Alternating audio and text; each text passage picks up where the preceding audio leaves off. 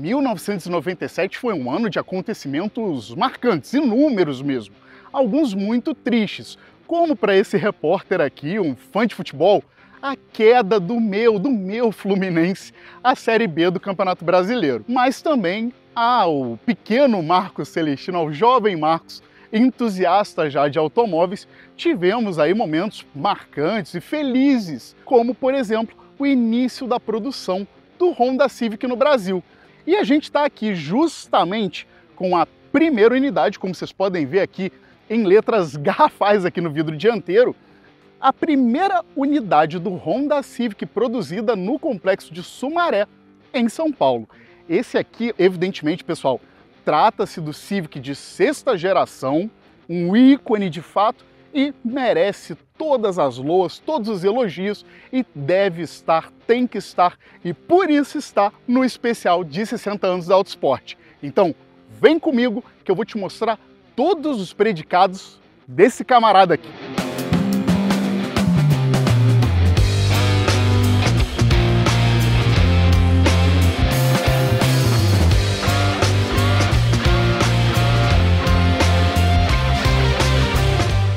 Primeiramente, antes de mais nada, vamos fazer uma rápida introdução acerca da Honda aqui no Brasil. A fabricante de origem japonesa se instalou aqui na década de 70, mas calma lá, é, só começou a produzir carros, de fato, a produzir não, a vender carros aqui no nosso país a partir da abertura comercial do governo Collor, feita pelo governo Collor. E aí, alguns anos depois, encetou a produção local aqui justamente em Sumaré isso no dia 6 de outubro de 1997. Nessa data, 20 unidades desse carinha aqui saíram da linha. E essa aqui, justamente conforme mencionei anteriormente, é a primeira delas, é a prim primogênita, a primeira de todas. E aí vocês sabem muito bem, o Civic teve uma história muito exitosa durante muito tempo no país e, infelizmente, após quase 25 anos de serviços prestados deixou de ser feito localmente. Atualmente, o modelo é vendido importado em única versão. Feita a introdução, agora vamos ao que interessa. Eu estou aqui com o Civic LXGC essa geração e parece que saiu hoje, né, da fábrica. Se você olhar assim, olha que maravilha, eu estou aqui, como eu amo o meu trabalho, meu Deus do céu.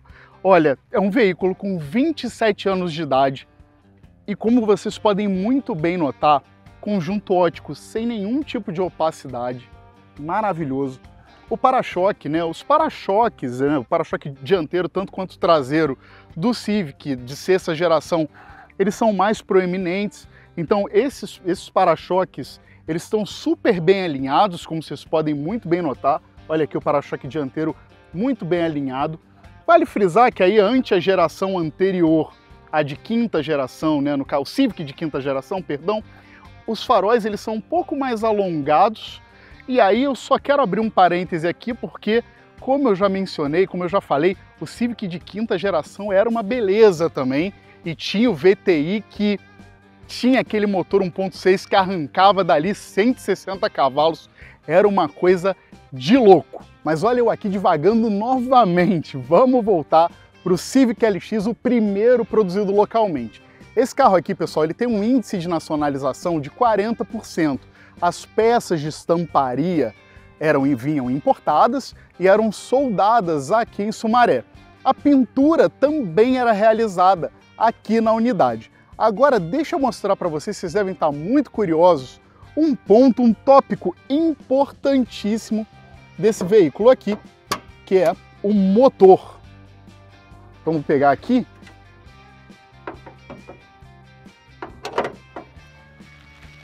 Este aqui é o motor 1.6, mas ele não tem comando variável, ele não é o VTEC, que equipa a versão de topo do sedã. Esse motor 1.6 aqui, ele entrega 106 cavalos de potência. Eu vou falar para vocês já já, mas como vocês podem muito bem perceber, ele tá super íntegro. Olha que alumínio lindo, que coisa maravilhosa.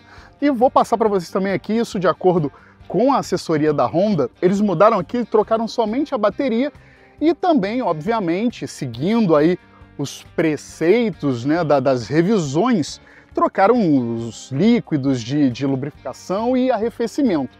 Só isso, tá lindinho, limpinho, tá muito melhor do que o motor do meu carro, do meu carro de uso. Olha só, para vocês verem, um carro de quase 30 anos de idade, o blocão aqui tá impecável. Agora vamos acá de ladito para mostrar para vocês o que, que o Honda Civic LX, o primeiro feito no Brasil, tem de interessante. A começar as rodas desse carro. Isso aqui é fantástico. São rodas de aro 14 com as calotas e os pneus que calçam aqui. Aí, para quem é da época aí, a galera vai, vai adorar. Eu tô aqui apaixonado. Pneu Firestone, o clássico Firestone F570 18565, coisa linda. Ele tá, claro, com algumas imperfeições, somente por conta de tempo, né, pessoal? É um veículo de 27 anos de idade, mas é o pneu originalzinho, não foi trocado. Aqui já, aproveitando que estamos aqui com um carro com veículo perfilado, a gente pode notar as proeminências, o para-choque dianteiro e o traseiro, como eles são mais proeminentes.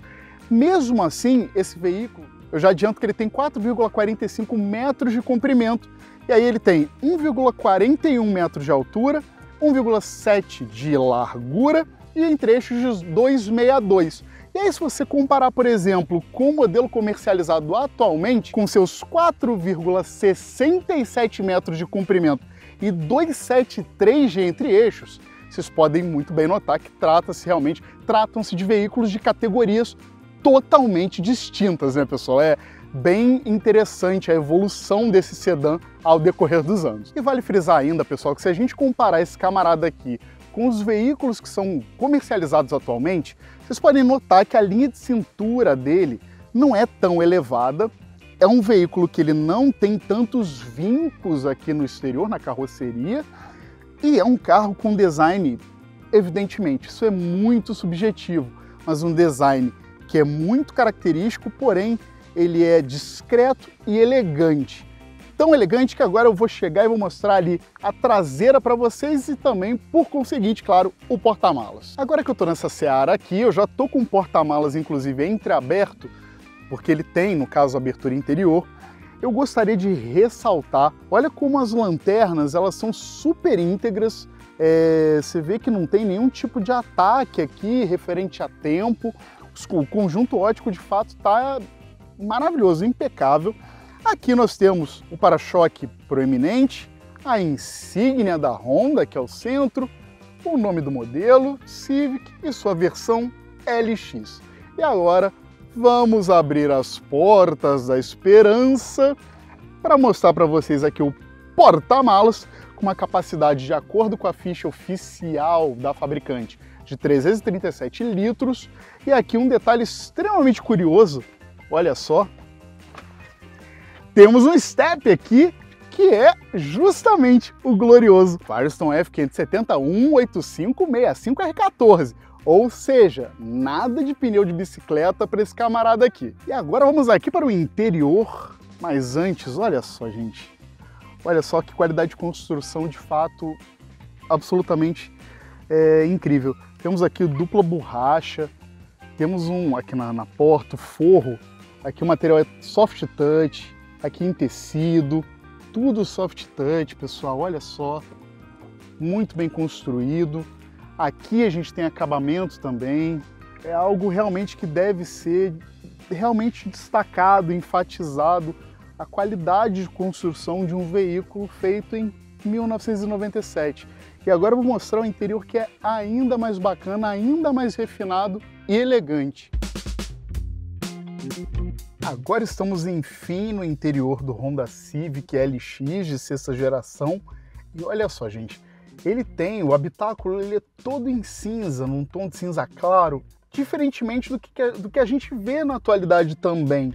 É, hoje a gente nota que a maioria dos automóveis eles acabam vindo com um habitáculo mais escurecido, a fim de evidenciar esportividade e tudo mais. E a gente pode muito bem perceber que um interior muito bem feitinho, muito bem trabalhado nas cores, ele pode ser até monocrom, um tanto quanto monocromático, mas é muito bonito, de uma elegância realmente que se destaca aí ante automóveis até feitos em 2024. E agora passemos aqui ao painel, gente. É, vou ter que ser redundante, porque de fato aqui, olha só essa elegância desse painel. É, aqui ao centro a gente tem, olha que bacana, esse toca-fitas aqui com auto reverse, toca-fitas de série, a disqueteira, um hit da época, um hit da década de 90, era o opcional. Aqui ao lado nós temos um típico reloginho também que remete àquele glorioso período, né, fim da década de 90, um clássico aqui do, do desse período, e também os controles, olha só que interessante, os controles aqui da, da ventilação, eles são na horizontal, olha só, bem distintos também, é, isso aqui se perderia, claro, com o passar do tempo também. Abaixo, olha só, acendedor de cigarro. Aqui nós temos, se eu empurrar aqui, olha só que solução bem bacana, um porta-copos. Aqui, na verdade, temos aqui dois porta-copos. Aqui, né, a alavanca do câmbio, uma alavanca muito típica do período também, né? E no túnel central, como vocês podem notar, é um túnel central bem simples, claro. Se a gente até tecer essa comparação novamente com modelos atuais, é um túnel central até um pouco mais simplório, porém já temos aqui uma espécie de apoio de braço, por que não? Com também um forramento aqui, o forro em tecido, outro ponto também que deve ser destacado, que são os forros aqui dos bancos, forramento absolutamente impecável e o material dos bancos também muito bom, abraça muito bem aqui, realmente um primor. Agora vem aqui para a posição do passageiro aqui para justamente mostrar o quão confortável e bem acabado é o Honda Civic LX também aqui nesse espaço para os ocupantes. É claro que aqui é um espaço adequado para dois ocupantes. Você tem, claro, aqui um cinto central, mas não temos aqui um apoio de cabeça para quem vai aqui ao meio. Os apoios de cabeça, inclusive, eles são, na, verdade, realidade, bem baixinhos e, e eles estão integrados aqui a, a, ao encosto. É, eu tenho 1,70, eu sou baixinho, então eu tenho um bom espaço aqui, embora tenha uma cabeleira ainda me sobra um espaço bem interessante aqui para a cabeça. Aqui uma frugalidade, uma coisinha mais legal. Aqui a luz, que quando a gente era criança a gente gostava de ficar enchendo a paciência dos nossos pais. Temos um dispenserzinho aqui ao centro e aqui um porta-trecos, né? um porta-livros, porta-revistas. Forração muito boa também dos bancos, acabamento primoroso também nas portas traseiras e é isso, pessoal. Agora eu vou voltar ali para o assento do condutor, mas antes eu vou te passar a lista de equipamentos de série do Honda Civic LX, o primeiro que saiu, primeiro produzido no Brasil, primeiro que saiu dessa fábrica aqui de Sumaré. Embora considerada tímida se a gente for fazer uma comparação com os veículos de hoje em dia, a lista de equipamentos de Civic que está comigo aqui é bem legal. A gente tem, além de tudo que eu já mencionei no vídeo, temos ainda aqui direção hidráulica com ajuste de altura da coluna de direção, vidros elétricos nas quatro portas, pois é, as travas também são elétricas, temos ajuste elétrico para os retrovisores e o banco traseiro é bipartido. E agora, senhoritas e senhores, sem mais delongas, vamos guiar esse camarada aqui. Pessoal, agora chegou a hora, é a hora boa. Tô aqui ao volante do Civic LX 97 com pouco mais, estou vendo aqui, com pouco mais de 550 quilômetros rodados.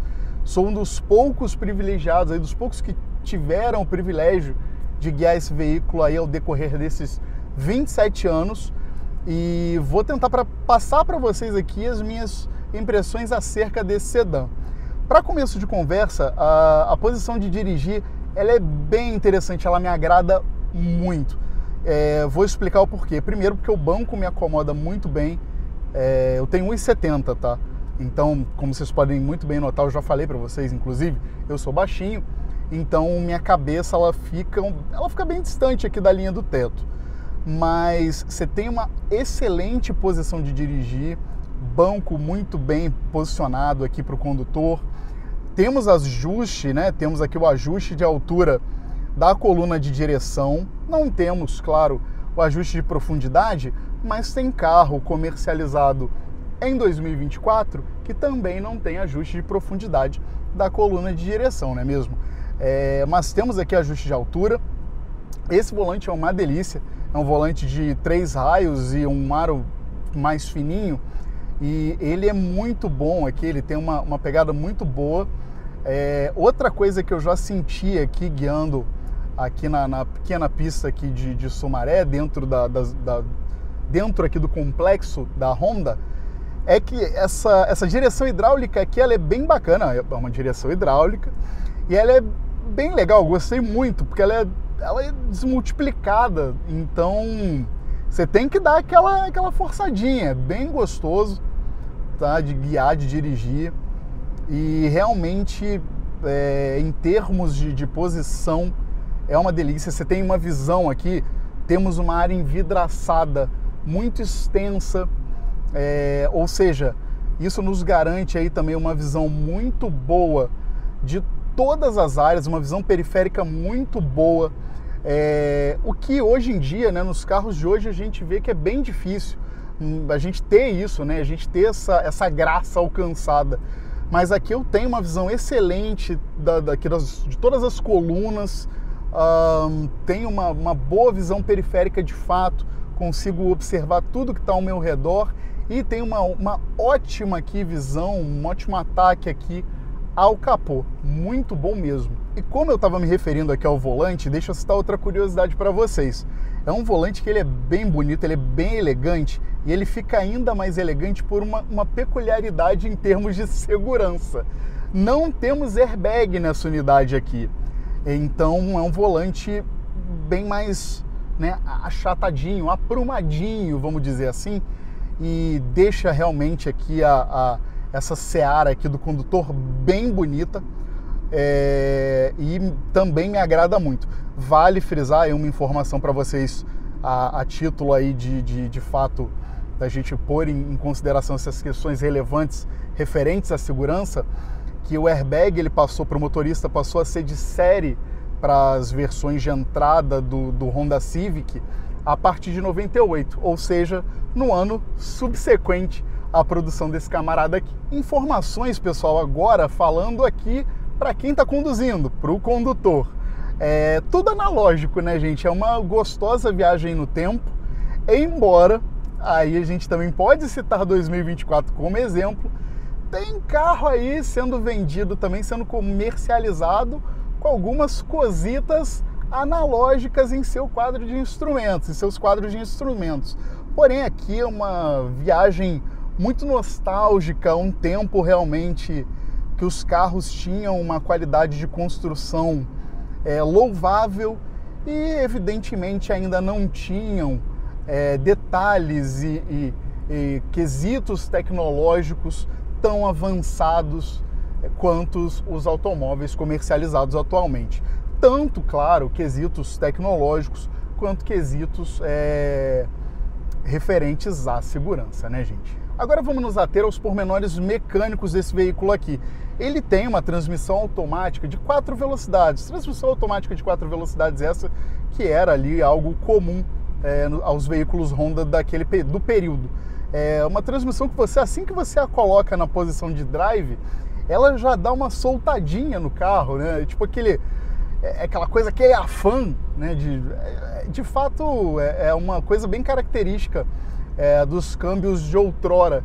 Nela já, já, já dá aquela soltada no carro assim e você tem que buscar, você tem que correr atrás. O motor desse camarada aqui, por sua vez, é um 1.6 que entrega 106 cavalos de potência e 14,2 kgfm de torque.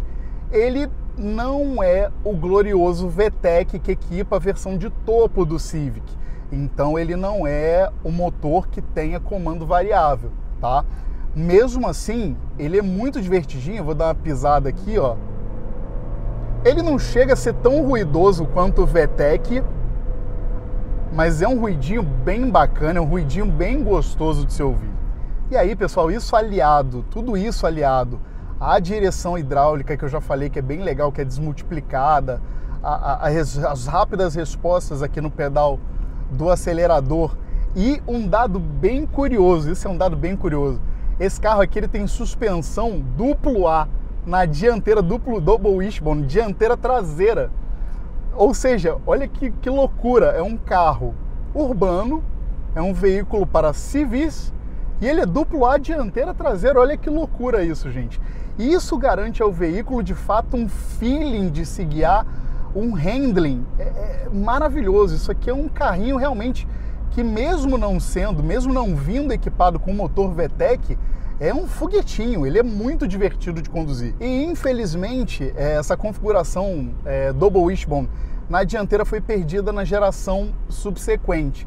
É, além de todos esses predicados que eu mencionei, que dão ao Civic LX de sexta geração uma excepcional dirigibilidade, você tem ainda uma, o peso do carro, ele é muito leve, ele tem 1092, ele pesa 1092 quilos. Ou seja, boa relação peso-potência que garante ainda mais diversão. Mesmo assim, esse carro, embora ele seja muito esperto, tem essa volúpia, essa vontade de ser um esportivo, ele é civil e é extremamente confortável.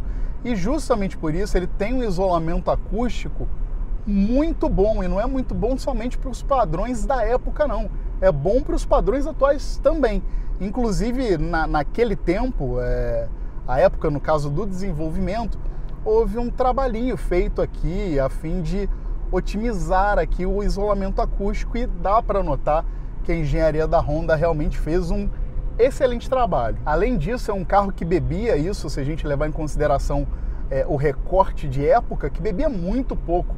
Isso justamente muito por conta desse motor 1.6 e da leveza, por, por conta dele pesar somente ali, é, pesar menos de 1.100 quilos. Então a eficiência energética desse modelo também é boa. Eu me recordo, isso aí é dos meus tempos de criança, que eu tinha, né, assim, pessoas próximas que, que, que, eram, que eram proprietárias é, desse veículo aqui. E sempre elogiavam muito em termos de consumo e tudo mais. E posso estar até chutando um número aqui, posso estar equivocado, tá, pessoal? Mas uh, pelo que eu me recordo, aí pode ser aquela lembrança de, de infância, aquele efeito Mandela, enfim. Mas pelo que eu me lembro, as pessoas diziam que, que era um carro que fazia assim 13 km por litro, é, numa boa, que era super econômico. E tanto isso, tanto em ciclo urbano tinha eficiência, quanto em ciclo rodoviário é, também. Então, realmente digno de loas para a época. E aí, mantendo aí nessa, nesse tópico época, gostaria para também falar que eu não estou só elogiando, que eu estou tão feliz de estar dirigindo esse carro aqui, mas para falar também, tecer uma, alguma crítica, né, para mostrar para vocês que também nem tudo são flores, ah, nossa, como no, no tempo é, do Chacrinha era maravilhoso, tudo era lindo. Não, temos essa transmissão automática que ela tem somente quatro posições e isso por conseguinte já é um ponto negativo ante aos veículos é, vendidos, comercializados nos dias de hoje. Além disso, claro, o mapeamento em termos de tecnologia houve uma evolução tremenda do mapeamento. Então também a gente tem uma deficiência, é, é um ponto claro que esse veículo aqui ele deixa a desejar obviamente 27 anos depois da sua produção. Mas para fechar, pessoal, em nota alta aí, em partido alto, é, tenho de dizer aqui, tenho de elogiar a carga de freio. Carga de freio é bem interessante. Existe aqui uma firmeza, porém há também sensibilidade adequadas. A carga de freio, de fato, desse carro aqui é bem bacana. Ou seja, bom, eu assim, eu poderia ficar aqui horas e horas e horas e horas divagando, dissertando sobre o quão delicioso é guiar o Honda Civic. É um carro é, que ele é bem diferente dos Civics mais, dos Civic mais novos. É, de fato, ele, ele se assemelha mais a um sedã compacto do que é um médio, esse carro aqui, mas mesmo assim é de fato assim, é de é, é de deixar qualquer um com um sorrisão no rosto aqui e totalmente, totalmente mesmo sem palavras. É um carro que merece ser celebrado, assim como Autosport também merece ser celebrada por seus 60 anos. Pessoal, acho que o sorriso já diz muito, então vou falar pouco. É, só quero agradecer é, por ter tido a oportunidade de poder ter guiado um veículo tão importante para o setor automotivo nacional numa celebração mais do que importante, que é essa celebração de 60 anos da Autosport. Enfim, eu estou aqui extasiado, muito feliz é, de poder ter tido também, claro, é, óbvio, a oportunidade de ter dirigido um veículo que tem pouco mais de 500 quilômetros rodados. Estou aqui extasiado, 27 aninhos e parece realmente um bebê. Eu tenho 38, parece ter 80 já aqui. Mas é isso, gente. Eu estou muito feliz, realmente. Muito obrigado pela companhia. De fato, antes de eu me despedir, claro, peço para vocês que deem aquela curtida no vídeo. Caso vocês ainda não estejam inscritos no nosso canal, se inscrevam no canal de Autosport para darem aquela força, aquele apoio para o nosso trabalho. E claro, deixem nos comentários o que, que vocês acham dessa maravilha que eu, claro, né, sou suspeito para falar. Gente, sou o Marco Celestino, muito obrigado mais uma vez pela companhia, aquele abraço e 笑。